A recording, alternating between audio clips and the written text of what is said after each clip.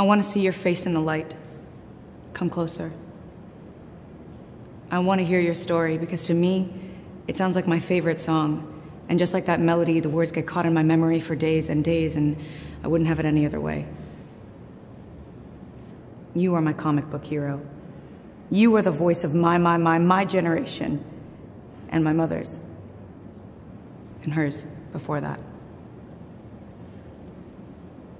I want to hear you, because to me, you sound like the national anthem, and I want to pledge allegiance to you. Because I see you and I want to see more of you. I hear you and I want to hear more of you. I love you and I want to love more of you. I thank you. And I want to thank more of you. So step into the light.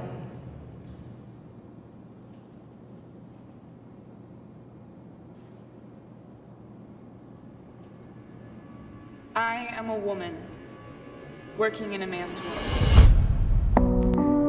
Each night, I fall asleep on a tour bus to a symphony of masculine snores in a blacked out bunk that feels more like a coffin. Each day, there are over 200 men hard at work around me. Some force me to keep my guard up. Some become a brotherly safe haven. Some shapeshift between both.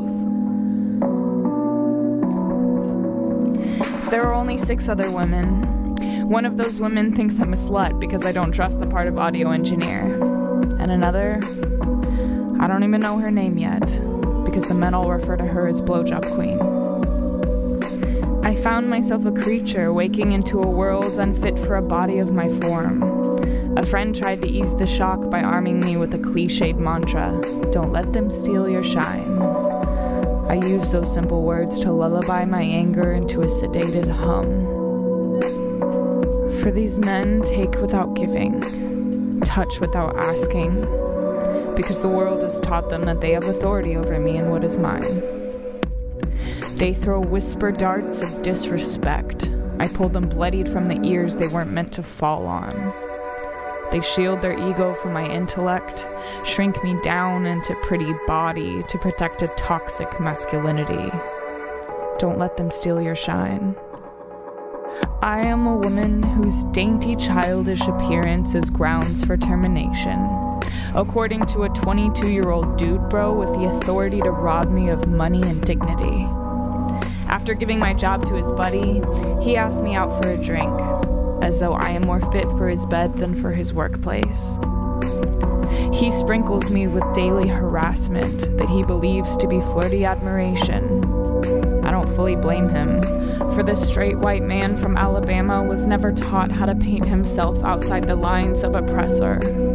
Instead, he is taught to swallow his softness and vault it deep beneath the words too gentle for a man's lips.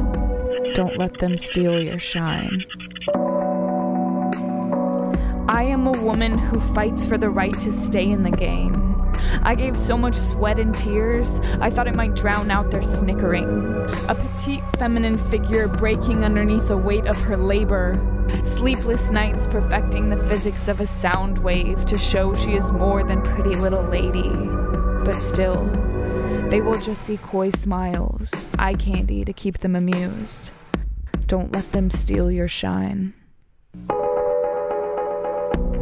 Their deprecation masquerades as adoration, degradation coated in a sweet poison. It leaves you drenched in guilt for breaking under something so kindred to affection, for being unable to play along with an age old game. There's a scream suppressed in every woman, tucked neatly under her good manners and grace. I feel it in me. It grows every time someone has told me to cover up, as though my body holds the responsibility for a man's lack of self control. The weight of that burden is still trapped in my bones. It grows with every comment on my beauty that is used to undermine my talent, as though wisdom cannot live inside an alluring shell. It grows with every smile for me, sweet thing, or what's a girl like you doing in a place like this, or calm down, cutie. There's a scream suppressed in every woman, and every woman has a story. Behind the footprints on her back and the scrapes on her shoulders from squeezing through fences that were meant to keep her in her place. And it is time for them all to be heard.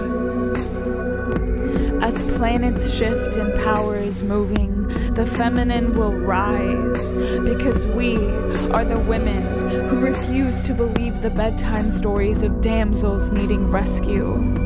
And we refuse to believe in a world where we are lesser but we are the women who choose to believe that we are sacred, that we are beings of inexhaustible love, warriors with life creating strength built into our bodies, and we will take our grace that has been used to hold us captive and craft it into a river so we can sail our battle cries into freedom because we refuse to let them steal our shine.